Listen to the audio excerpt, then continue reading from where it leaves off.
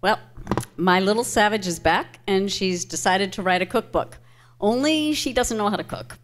In this new book, The Savage and I speak mostly with one voice with occasional creative differences, but right now I'm going to switch to my savage point of view. This is not a cookbook. I am the little savage. By definition, I am not domestic. I got my name when a drummer in my band said, You're a little savage. This is an early cartoon version of me, which came into being when I decided to draw my life in pictures instead of words. I'm sure I'm going to say a few things that I might regret or I might offend. So I'm putting this disclaimer in at the very beginning. I'll refer to this often in the book, especially in the chapter on forks and forking. I must be possessed. Why would I want to write a cookbook? I hate to cook. I hate all that shopping, I hate all that chopping. So as part of my R&D, I went to my Uncle Mort. Unfortunately, he's dead. And his advice was, go virtual, my dear. Well, he looks pretty virtual. Well, maybe the world needs a new diet book. Want to lose weight? Follow my plan and you'll be paper thin. Wait a second, I'm a cartoon, I don't eat, I'm not real. Why would you believe me? But if you really want to look great, learn Photoshop. At, at least that's a skill you can add to your resume when my diet plan fails. Top of my list is coffee and my illusions. Me and my coffee, we're happy together. It warms me up, it makes my brain work. It's the best way to start the day. Still dreaming that the world is functioning properly. I believe in moderation. I've been told there are 12 step problems and pro sorry, 12 step programs in some cities to help with their chocolate intake, their coffee intake. Not me, I'll moderate on my own. Thank you very much. One cup an hour, that seems reasonable, don't you think?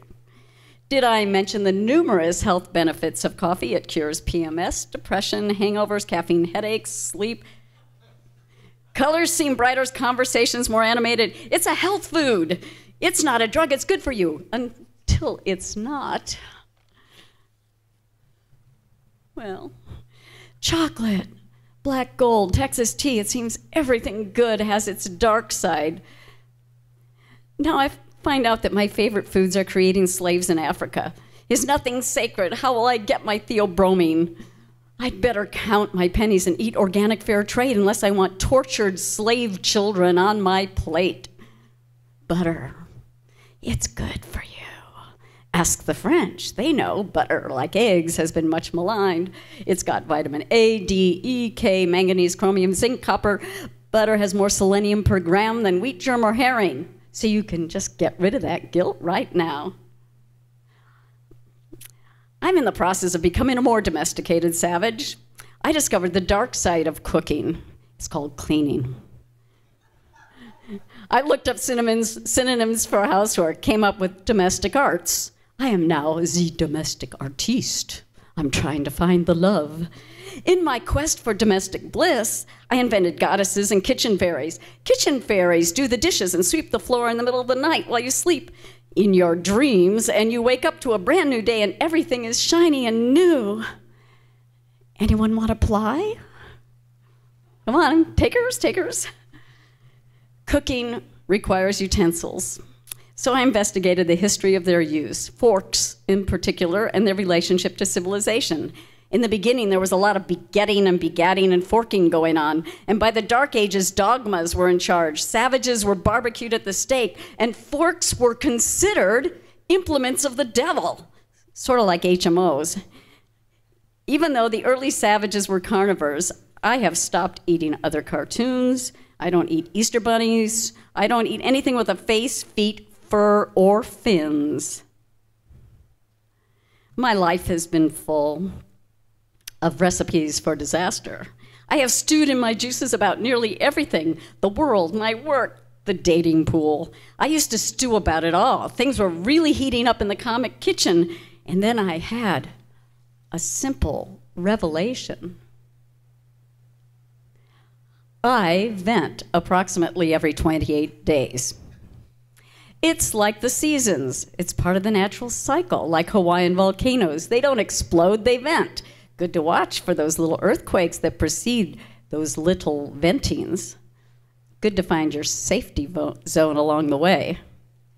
No book on food would be complete without a chapter on the holidays peace, love, death, joy to the world, mazel tov. But we really know it's about food. I couldn't decide on the peace card or the not so nice card, the holiday action card, so I put both of them up there. Why is it December holidays also bring the sound of mucus? You're supposed to moan or laugh. Where do these buckets of mucus come from? How does my body produce all this? This stuff is amazing. If only it could be used for something. I could always do a book about eating on a budget. Really? Did you know that grass is healthier for you than most of the food you buy in the regular supermarket? It's better for you than cow burgers. What the cows munch on is much more nutritious than the cow and its excretions. I won't mention cow pus. Okay, so far there are 20 slides and no recipes. I have an idea. I'll have a recipe contest. You can send me your recipes. No face, no feet, no fur, no fins. Recipes to me at littlesavage.com. If you win, I'll send you a copy of my ebook. I'm serious, folks. I want your recipes. Come cook.